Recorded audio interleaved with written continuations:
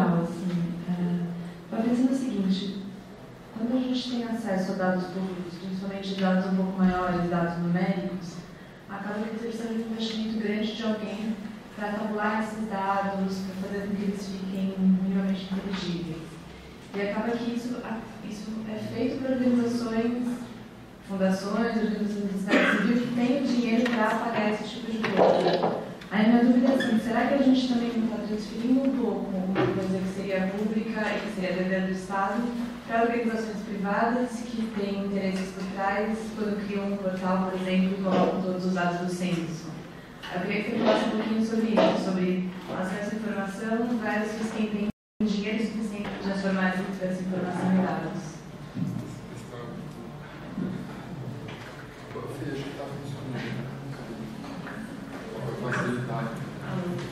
Então, eu tinha isso em mente quando eu falava sobre, sobre aquela matriz liberal e algumas, algumas distorções que isso na democracia gera hoje, que é uma desconfiança do Estado, uma diminuição do Estado, o papel do Estado nesse, nessa ideia de produção de informação, tratamento, análise, e uma supervalorização dos atores privados, que tem a inovação, que tem corrupção, por mais bem intencionados que estejam, vai ser um intermediário, vai ser uma, uma interpretação.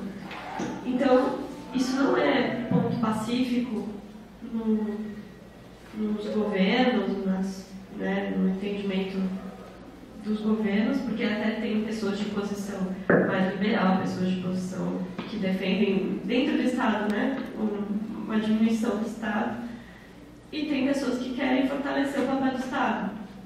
E eu sou uma das pessoas que acham que o Estado tem sim um papel muito forte de, de novo, divulgar dados abertos, mas também produzir análises e interpretações e oferecer plataformas de consulta desses dados para facilitar, porque é uma visão pública, né? Aí vai, sempre vai ter gente que vai dizer, mas aí o Estado tá, vai distorcer, vai fazer propaganda, vai.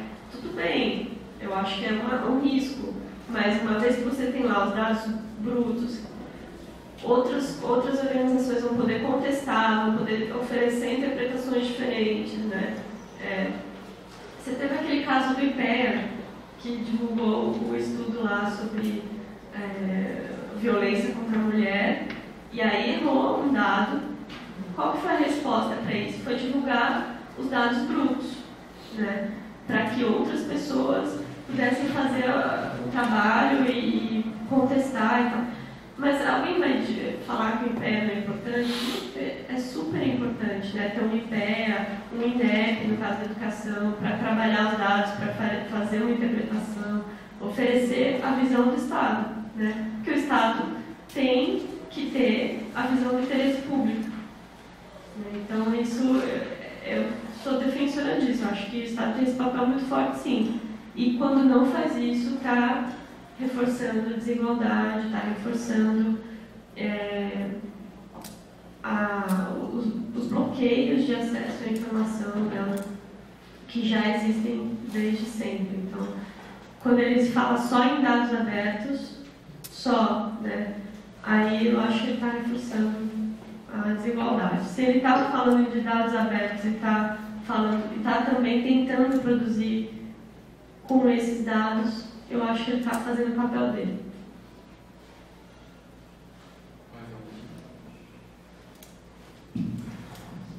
Eu tinha mais uma pergunta, assim, eu, não sei, acho que não, como você falou, né, para formular uh, um, um bom pedido de informação no sentido de que você vai ser de fato compreendido, vai obter a resposta que está buscando, você tem, enfim, tem que ir exercitando um pouco isso e levando muito é, é, quebrando um pouco a cara também, né?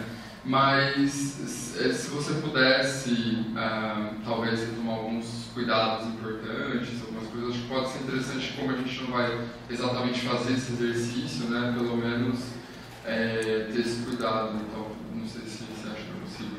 Né? Tem, inclusive, para essa oficina de ontem, depois a gente tentou sistematizar algumas dessas Aí tem 10 dicas para fazer um pedido de informação. Foi comentado. Ele não, a gente não combinou. Então, tem 10 dicas. É, a gente está produzindo um folhetim, mas eu já posso passar também por e-mail para vocês. Né? Vou tentar lembrar algumas, mas tem algumas que são, acho que pelo menos quatro delas, seguem muito o lead do jornalismo. Não sei se todo mundo conhece, né?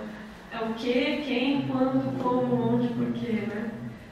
É, cinco dessas. Então, o que que você quer pedir?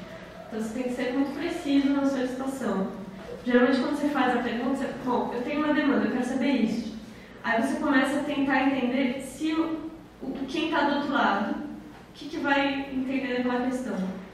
O, o que, que eu quero receber você, você faz esse exercício, o que, que eu quero receber de resposta, você formula a questão melhor. Não, se eu perguntar isso, ele pode responder de jeito mais geral. Por exemplo, quero saber conselhos é, sobre a existência de conselhos de escola é, na cidade de São Paulo.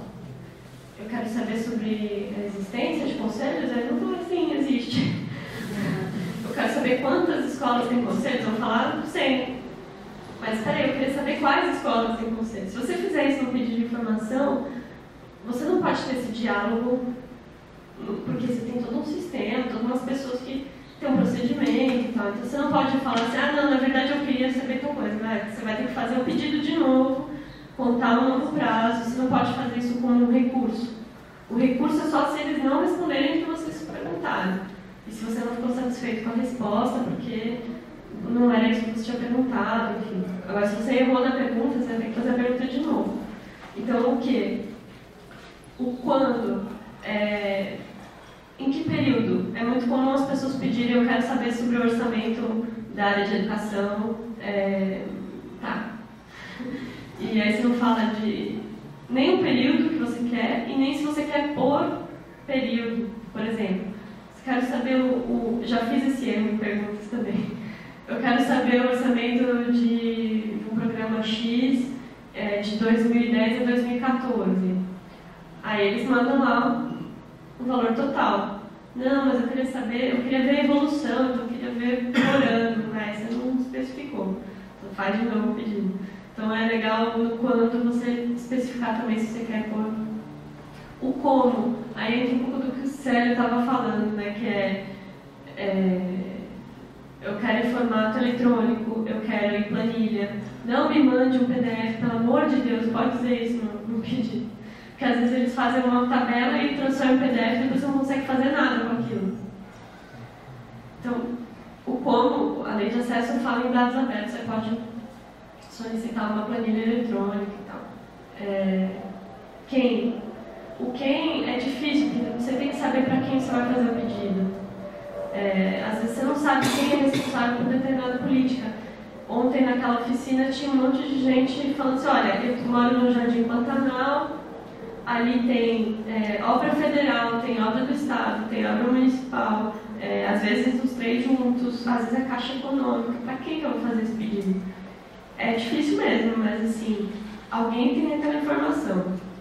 Se você já souber, é melhor, porque aí não vai ter o trabalho de você, prazo não vai recomeçar. Então você começa, você faz o pedido, se você fez o pedido para a pessoa errada, tem um mecanismo de reencaminhar quando é a mesma, mesma esfera. Então, uma secretaria para outra, você vai ser informado de que está sendo reencaminhado.